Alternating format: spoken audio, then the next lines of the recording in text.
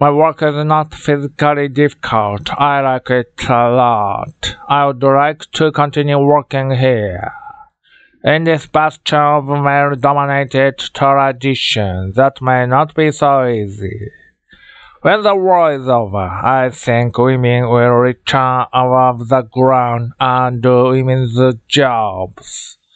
Yet even Chief Engineer Alexander admits, without Tatiana and uh, many other women, the mine could not have kept going.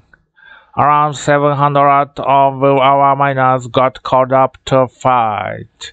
Our women wanted to help both the mine and the country. 46 women are working under the ground now.